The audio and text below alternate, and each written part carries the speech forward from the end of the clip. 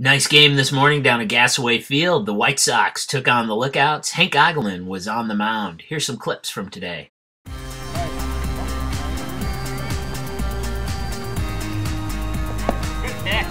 Oh!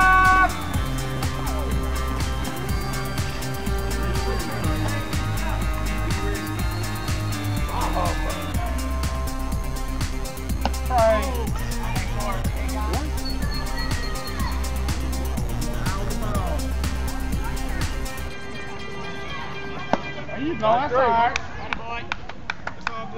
Good pitched two scoreless innings, and the Lookouts held on to win 6 5 and moved to 2 and 1 on the season.